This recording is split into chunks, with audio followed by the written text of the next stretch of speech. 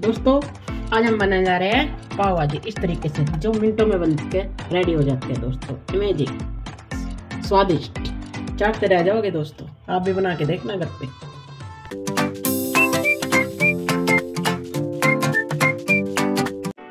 Hello दोस्तों स्वागत है आपका किचन हीरोइन में।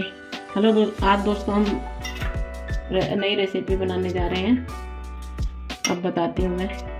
ये मैंने ये एक शिमला मिर्च ले ली है, दो मीडियम प्याज ले ली है, आठ लहसुन की वो ले, कली ले ली है ये आठ मैंने ये ले ली है, दो मैंने गाजर ले ली है, दो मैंने मीडियम साइज़ के आलू ले लिए हैं, जिसके मैंने एक टुकड़ा अदरक का ले लिया है, चार मैंने टमाटर ले लिए हैं, आधी मैंने चुकंदर ले ली है, थोड़ी मैंने मटर ले ली है, दोस्तों अब शुरू करते हैं।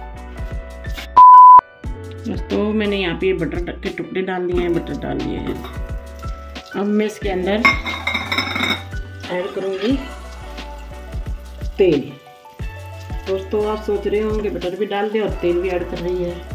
दोस्तों, मैं तेल इसलिए डाल रही हूँ कि ये जल जाता है, इससे बटर लग जाता है नीचे।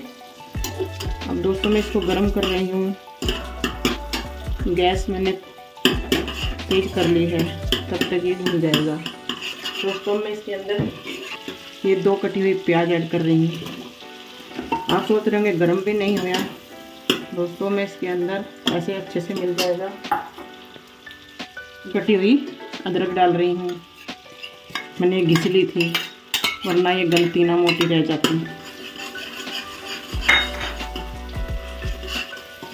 अब मैं इसके अंदर टमाटर डाल रही हूँ।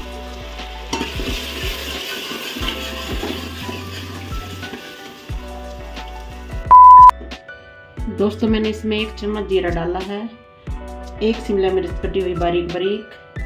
दोस्तों, मैंने दो गाजर डाली है इसमें बारीक बारीक कटी हुई। पचास ग्राम मैंने इसमें मटर डाली है दोस्तों। दो मैंने इसमें मीडियम साइज़ के आलू डाले हैं कटे हुए। इसमें एक कटोरी इसमें मैंने गोभी डाली है। एक चकुंदर डाली है। एक तेजपत का पत्ता लिया है। एक बड़ी इलायची ली है। दो कटी हुई हरी मिर्च ली है। आधी चम्मच मैंने हींग ली है। दो चम्मच धनिया पाउडर लिया है। एक चम्मच हल्दी ली है।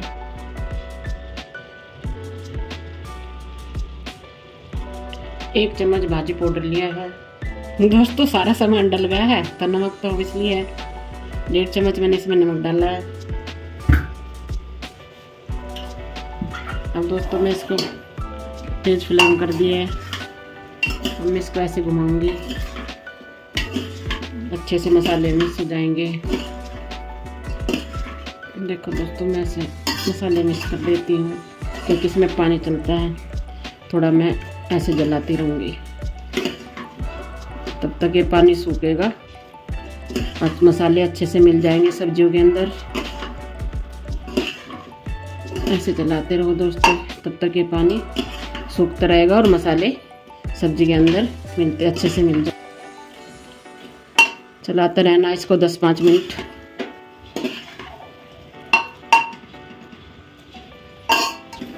अब दोस्तों, हमारा मसाले अच्छे से मिल गए हैं सब्ज़ी के अंदर।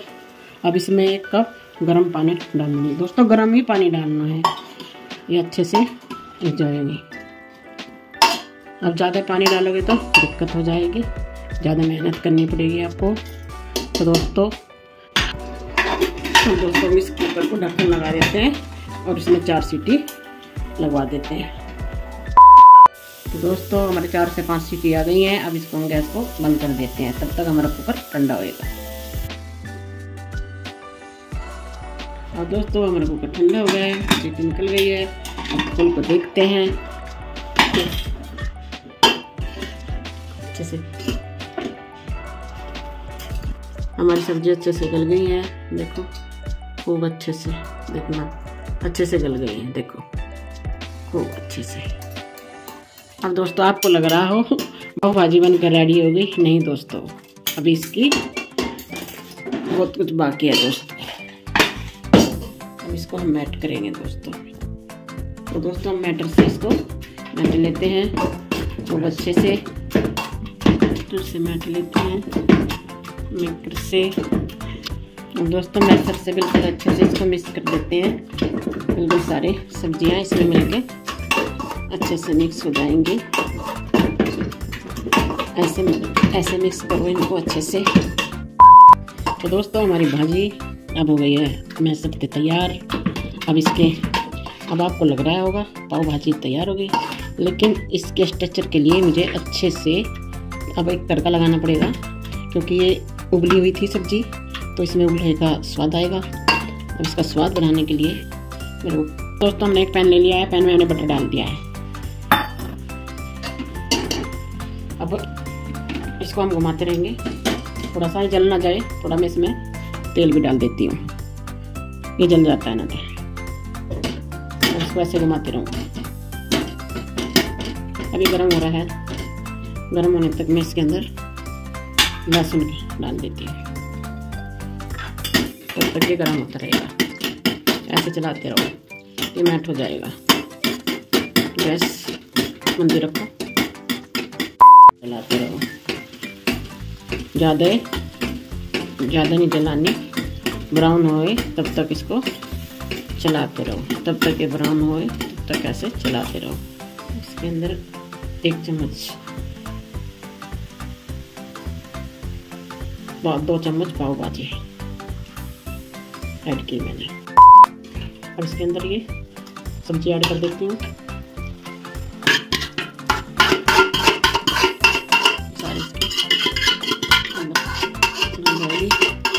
अच्छे से तड़का लग गया है ये हो गई कड़ी तो मैं इसमें थोड़ा पानी मैंने गर्म कर दिया है पानी थोड़ा पानी डाल देती हूँ ये हमारे ऊपर भी। अच्छे से धो जाएगा इसमें जो लगा हुआ है, ये ऐसे, ये सारा, इसके अंदर क्योंकि टाइट हो गए हैं सख्त हो गया है। ये अच्छे से सब्ज़ियाँ, पाव भाजी अच्छे से मिक्स हो जाएँगी। अब लगने लगी है पाव भाजी। अच्छा सा टेक्सचर आ गया है।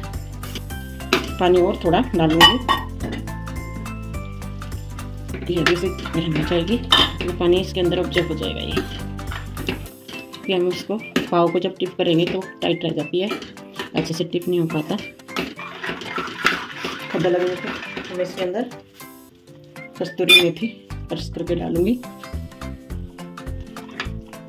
ये मैंने इसके अंदर, इससे बहुत अच्छा टेक्सचर आता है। खुशबू भी अच्छी आती है इससे। अब ये पाँच मिनट पाँच मिनट में इसको ढक के रख दूँगी। पाँच मिनट सिर्फ़ पाँच मिनट। अब मैंने इसके अंदर थोड़ी काली मिर्च ऐड की है। इससे बहुत अच्छा स्वाद आता है। हमारा काम ख़त्म हो गया है दोस्तों, क्योंकि मैं इसके अंदर अब हरी धनिया की पत्ती डाल दूँगी। हमारी पाव भाजी बनकर रेडी हो गई है। देखो, कितना अच्छा स्ट्रक्चर बिल्कुल बनी ना? जो रोड पे पाव भाजी भेजते हैं उसी की तरह बनी है ना? बहुत अच्छी खुशबू आ रही है। अब इसमें मैं लगा देती हूँ, बनकर रेडी हो गई है धनिया के पत्ते। इससे मैं इसको गार्निश कर देती हूँ। अब पाव भाजी बन के हमारी रेडी हो गई है दोस्तों। अब इसको हम थोड़ी देर ढक के रख देते हैं।